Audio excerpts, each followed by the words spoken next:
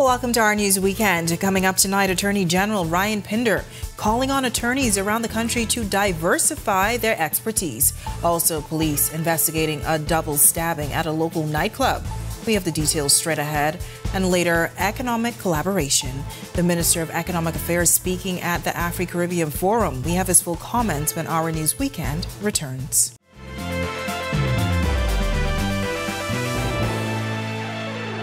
This is our news weekend. Thank you so much for joining us. I'm Natalia Hall. The Office of the Attorney General is calling on lawyers nationwide to evolve and broaden their horizon in specialty areas.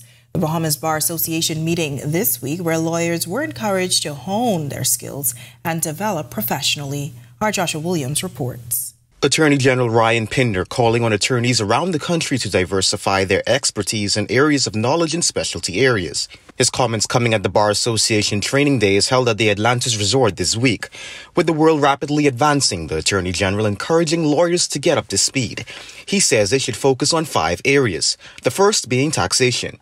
If you look in the dailies, almost every single professional organization in the Bahamas, inclusive of law firms, are actively recruiting for tax practitioners. Every single one. The reality of the situation is the Bahamas does not have enough trained tax professionals. Then there's the area of intellectual property, something Cabinet is looking to bring to Parliament soon with the goal of modernizing and reforming intellectual law framework. All of this will require expertise in international property law. Whether to provide registration or structuring advice, or to defend your client's intellectual property rights in the court of law. Today, I could probably count the attorneys with intellectual property expertise on two hands, if not one. There's also a new area that many do not think of space law. With the proliferation of the private space exploration companies and the interest we see by these very same companies in the Bahamas, either as a jurisdiction for reentry such as SpaceX, or for launches. There are private space companies inquiring of the Bahamas as a launch jurisdiction. And finally, energy law. You might know we recently passed a new Electricity Act and a new Natural Gas Act. And the Prime Minister just announced major reforms in energy generation, transmission, and distribution. A key component of these reforms is the expansion of generation via independent power producers and the sale of that energy via power purchase agreements. Each of these requiring specialty agreements and specialty skills in the context of energy. Reporting for R news, I'm Joshua Williams. Well, police are currently investigating a double stabbing that has left Two men in hospital receiving medical assistance. Police say the incident occurred at a nightclub on Nassau Street around 4 this morning. Now, additional details surrounding the incident are unknown at this time. Well, the third Afro Caribbean Trade and Investment Forum highlighting socioeconomic aspirations. Minister of Economic Affairs Michael Halkitis is telling attendees that our cultural ties and similarities must be the bridge to cooperating and collaborating toward common ambitions.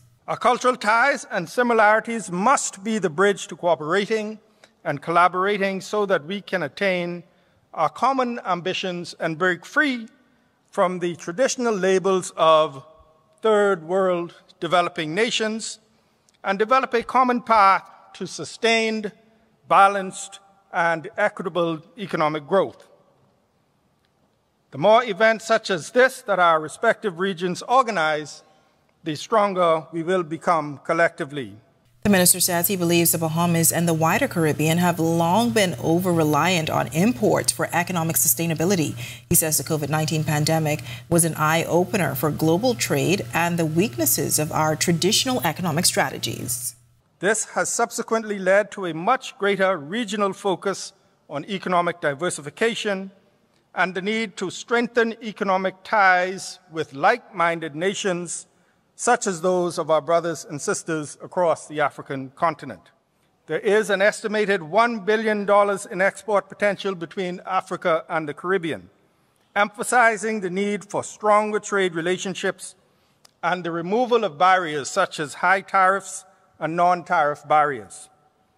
The potential benefits of such collaborations could include increased competitiveness for small businesses, access to new markets, and the promotion of sectors ranging from food to tourism. Well, Grand Bahamian pilots up in arm about an increase in inbound and outbound fees for aircraft. This change will come into effect on July 1st. The pilots say they believe this will have a negative impact on the aviation sector. These pilots say they are disappointed in the recent increase of international inbound and outbound fees, as they say it amounts to a 500% increase. Private pilot Ricardo Munning says the inbound and outbound fees for him was originally $50, but it's now $150, which is a total of $300 per flight. I fly multiple aircraft, actually. I may have two flights a day, sometimes three. You know, so that will add up very, very quickly. Pilot Jamal Johnson says there was also an increase in departure tax earlier this year, and this is yet another blow. To get a notice saying that not only do you have to pay departure tax, you have to also pay a fee to leave the country is, I think, right now is a bit insane. So now you have to spend $31 on each person leaving the country, as well as $150 for the airplane leaving the country. So that's a substantial increase. Munning shares some people may think the issue is insignificant, but some owners of these aircraft may see the increases as an extra burden. Sometimes in the summer, they may do three trips a week, okay? That's now $900 a week in fees, and times that by sometimes uh, every week, uh, you know, um, we're looking at $3,600 $36, a month. As for the tourism sector, they're going to get hit with this that one time, and that may be the last time they come. They're then going to go back to their friends and their, their communities, and they're going to put that out on their um, aviation community uh, pages. Munnings also questioning the fees associated with the amount of seats on an aircraft. Some of these aircraft that we fly, um, yes, they have six seats, but you know we, we take seats out. There are some there are some owners that fly with four seats in the aircraft. So how does that affect you know the cost as far as how do, how do they determine w- what kind of cost that will be? When our news weekend comes back from the break, Bahamian women entrepreneurs shine at the Afreximbank conference. Hear how they plan to authentically Bahamian products, plan to take authentically Bahamian products to the world. Plus, men on a mission, a special Father's Day concert to benefit the Simpson Penn Center for Boys. Those details when our news weekend comes back from the break. Are you or a loved one under medical care? Do you need affordable medical supplies? Ports International is the largest home healthcare supplier. Medical supplies at the very best price, and you can even shop online. From hospital beds to wound care, wheelchairs to walkers, Ports is a one stop shop for your medical supplies, and we accept insurance. We have online shopping and two locations to serve you at the Airport Industrial Park and Shirley Street. We also ship to the Family Islands. Shop online and visit us on Facebook. Call Ports at 377 1771.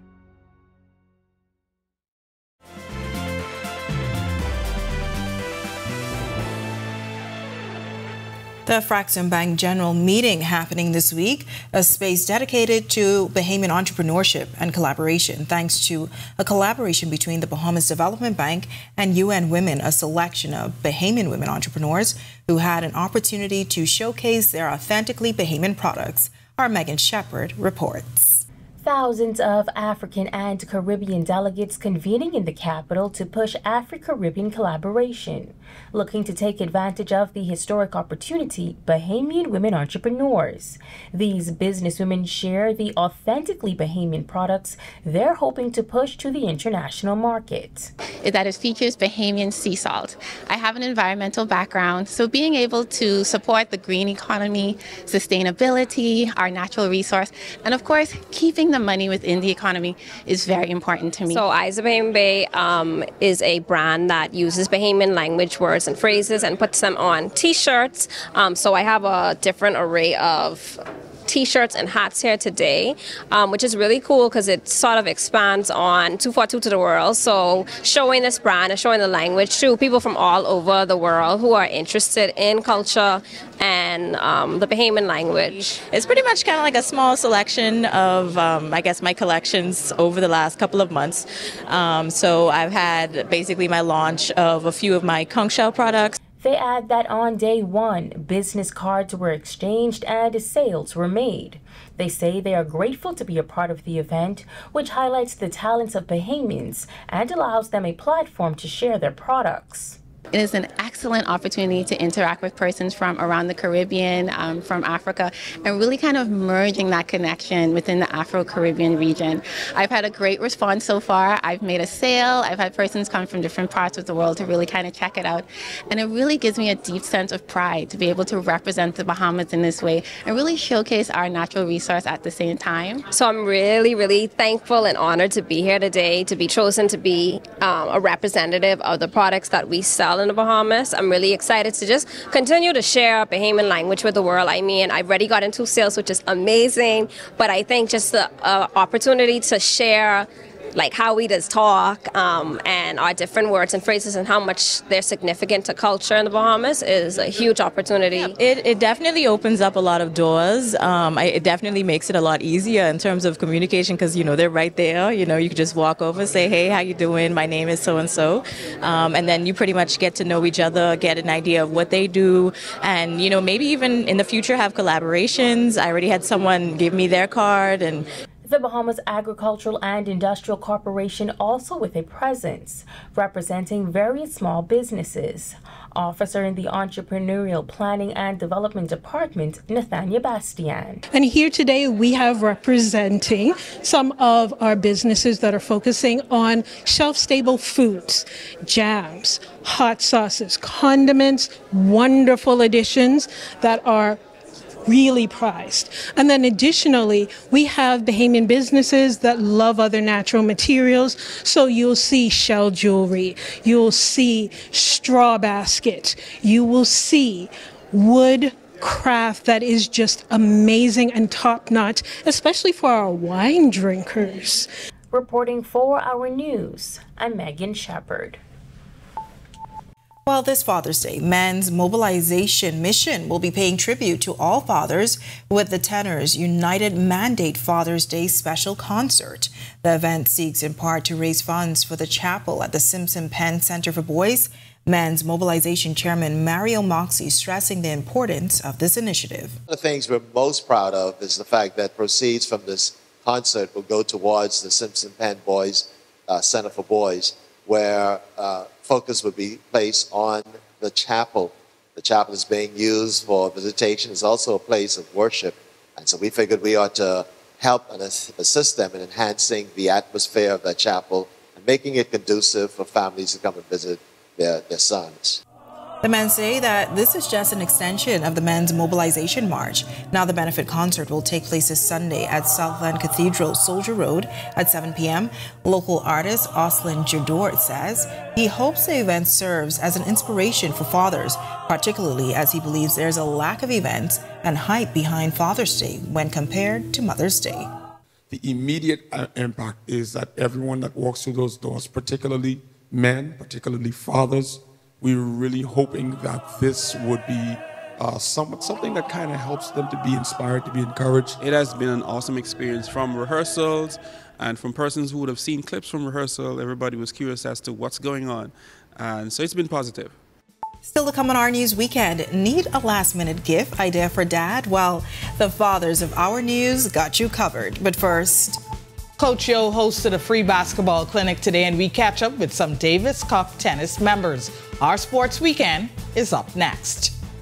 No travel, no problem. Summer is here. Whether you're fighting to stay cool or heating up the fun, Our News Weekend is your guide to the ultimate staycation. We're talking all of the hidden gems right in our backyard, from the hottest bars and lounges to the coolest excursions and events in town. So stay cool, stay local, and stay tuned. Tune in every Saturday to make sure your summer staycation is an unforgettable sensation. Only on Our News Weekend.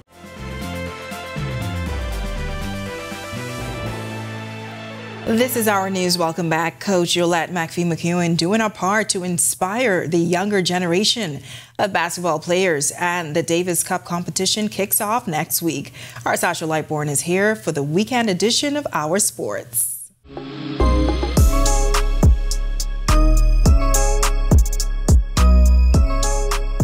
Thanks, Natalia. Good evening. Welcome to our Sports Weekend edition. I'm Sasha Lightborn in for Tage Adderley. Coach Yolett McPhee McCuin is a decorated Division One coach in the United States who was born and raised in Grand Bahama. Last summer, she held a free basketball clinic in Grand Bahama. This year, she brought the clinic to New Providence. For me, this this really reminds me why I do what I do. It's not for the money, it's not for the prestige, it's to give hope and it's to develop young people. And this is my ministry, right? Coaching, so uh, and development, and that is one of my mottos: to teach, develop, and inspire. Coach Yolett McPhee McCuin hosted a free basketball clinic at the Kendall Isaacs Gym today for first through eighth graders. Through her foundation, No Ceilings, she says clinics like hers are fundamental to growth, and the children agreed. I learned how to dribble and crossover. We learned how to lay up, we learned how to bounce pass, chest pass, and dribble. And the plan is to take the camp to the family island soon. I want to go to every family island that has kids that are interested in playing. I don't want it to just be Freeport and Nassau. I want Exuma next. I want to go to Bimini. I, anybody that, that shows interest, that's where we're going to go. Last month, we introduced you to Michael Major Jr., a tennis teen phenom. Since then, Michael was named to his first Senior Davis Cup team. We caught up with him and some of his teammates at the Balmoral Club earlier this week. In May, we introduced you to Michael Major Jr. The day we interviewed Michael, he had just turned 18 and had already racked up many accolades in his tennis career. We caught up with him earlier this week as he is one of the members of the Davis Cup team set to compete in Paraguay from June 17th through 22nd it's very special to be a part of the team, you know, representing my country for the first time on the men's national team. You know, I've represented the country on the junior level before, but to finally make my first men's team at 18, you know, it feels really good. We also spoke to his teammates, Dante Ambrister and Denali Nottage. Well, the overall goal for the tournament is to obviously make it out of the group into zone two. And then we all know that's going to come with challenges. So we're going to go there as one. We're going to represent the hardest we can. My expectation is to, you know, like always, just go ahead play our best uh, form of tennis and to be one of the three teams to get promoted into the next zone. Finally, one of our senior collegiate athletes is entering the transfer portal. Bahamian national record holder in the men's javelin, Keyshawn Strachan, will be leaving Auburn University. Strachan made the announcement on his Instagram page yesterday, expressing his gratitude for the journey he had at Auburn. He said he's entering the transfer portal to, quote, explore new opportunities for growth both academically and athletically. End quote. Strachan turned in a strong performance at the National Collegiate Athletic Association Division One Outdoor Track and Field Championships, finishing fifth in that event at Hayward Field in Eugene, Oregon. His eyes are now set on the Olympics in July and qualifying for the World Championships in Tokyo, Japan next year. Now, before we go, Jonquel Jones and the New York Liberty played the Las Vegas Aces earlier today. We'll update you on that score tomorrow. That's a wrap for sports this evening. For our sports weekend, I'm Sasha Lightborn. Still to come on our news weekend, the inspiring story of the 2024 Primary School Student of the Year. Hear how the 11 year old balances extracurricular activities and academic excellence. Stay with us. No travel, no problem. Summer is here. Whether you're fighting to stay cool or heating up the fun, our news weekend is your guide to the ultimate staycation. We're talking all of the hidden gems right in our backyard, from the hottest bars and lounges to the coolest excursions and events in town. So stay cool, stay local, and stay tuned. Tune in every Saturday to make sure your summer staycation is an unforgettable sensation. Only on our news weekend.